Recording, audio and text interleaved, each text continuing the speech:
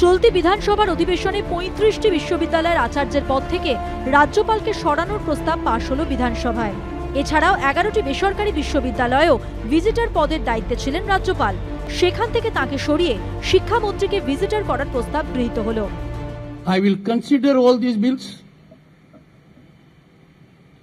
legally.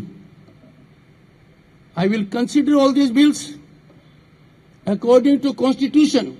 I will examine these bills in the perspective of University Grants Commission Act. বিজেপির অভিযোগ অনৈতিকভাবে রাজ্যপালকে সরানোর প্রস্তাব আনা হয়েছে। প্রতিবাদী বিধানসভা থেকে মিছিল করে রাজভবন যান বিজেপি বিধায়করা দেখা করেন রাজ্যপালের সঙ্গে। চ্যান্সেলর পরিবর্তন করার ক্ষমতা রাজ্য সরকার বা রাজ্যের শাসক দলের বা বিধানসভার মেজরিটি মেম্বারের নেই। এবার গভর্নর সাহেব কি করবেন তিনি ঠিক করবেন? আমরা তো তার কথা বলব না, কিন্তু তিনি সবগুলো অপশান এখানে বলেছেন। বলেছেন যদি বিল ঠিক থাকে, আমি অনুমোদন দেব। আমি শুধু এই সরকারকে বলব, এই সরকার আইন মেনে চলছে না। একেবারে ওদের যেই ভাবনাটা যে একেবারে অমূলক, আমি এটা মনে করি না। রাজ্যপাল যে আরম্ভ করেছিলেন, আজকে রাজ্য শাসনটা তো করতে হয় মমতা বন্দ্যোপাধ্যায়কে। তো প্রতি পদক্ষেপে যদি এই ধরনের আচরণ পরিলক্ষিত হয়, সুতরাং আইনের চৌহদ্দির মধ্যে সংবিধানের চৌহদ্দির মধ্যে আমাদের ব্যবস্থা গ্রহণ করতেই হয়, নিতেই হয়। চলতি অধিবেশনে এখনও পর্যন্ত দশটি বিল পাশ হয়েছে। কোনোটি ধনী ভোটে, কোনোটি ভোটাভুটিতে। নজিরবিহীনভাবে একটি বিল ছাড়া বাকি সবকটি বিলের মূল নির্যাস ছিল রাজ্যপালের অপসারণ। গত তেরো তারিখ বিশ্ববিদ্যালয় সংশোধনী বিল এনে একত্রিশটি বিশ্ববিদ্যালয়ের আচার্য পদ থেকে রাজ্যপালকে সরানোর প্রস্তাব গৃহীত হয় বিধানসভায়। এর মধ্যে কলকাতা, যাদবপুর সহ শিক্ষা দপ্তরের হাতে থাকা সবকটি বিশ্ববিদ্যালয় রয়েছে। পরদিনই এগারোটি বেসরকারি বিশ্ববিদ্যালয়ের ভিজিটের পদ থেকে রাজ্যপালকে সরানোর প্রস্তাব গৃহীত হয় বিধানসভায়।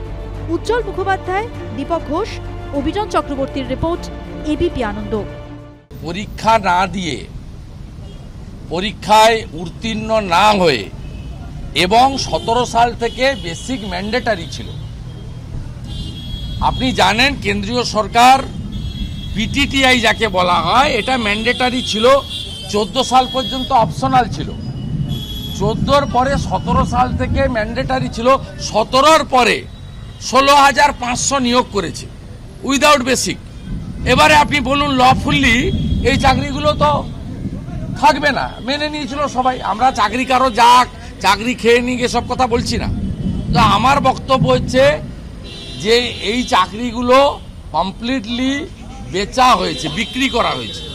এবং মানিক ভট্টাচার্য বলুন, পার্থ চ্যাটার্জি বলুন, এরা ভাইপোর তালিকা বা মুখ্যমন্ত্রী মমতা ব্যানার্জির নির্দেশ পালন করেছে। এই মানিক ভট্টাচার্যের সম্পত্তি, পার্থ চ্যাটার্জির সম্পত্তি যেমন কোর্ট দেখছে, এদের কাছ থেকে আমরা দাবি করি, কাস্টডিতে নিয়ে যদি ইন্টারোগেশন করতে পারেন, তাহলে দেখবেন ভাইপোর স্বাক্ষরিত কত তালিকা। কীভাবে চাপ দিয়ে তোমার পথ চলে যাবে? তুমি এমএলএ টিকিট পাবে না। পার্থবাবুর আগে দপ্তর চলে গেছিল। তারপরে আবার দপ্তর ফিরে পেয়েছিল। চ্যান্সেলার পরিবর্তন করার ক্ষমতা রাজ্য সরকার বা রাজ্যের শাসক দলের বা বিধানসভার মেজরিটি মেম্বারের নেই। ইটস ভেরি ক্লিয়ার এবার গভর্নর সাহেব কি করবেন, তিনি ঠিক করবেন?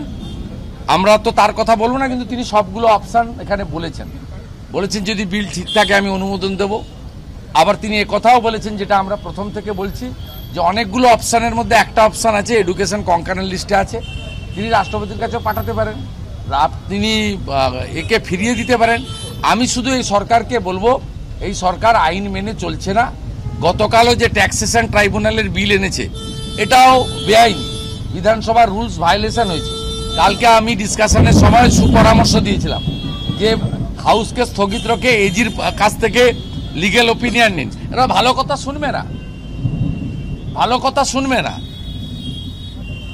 এদের যিনি চালাচ্ছেন, তার মুখের ভাষা তো সবাই দেখতে পাচ্ছে। কি ধরনের ভাষা দিয়ে তিনি কথাবার্তা বলছেন?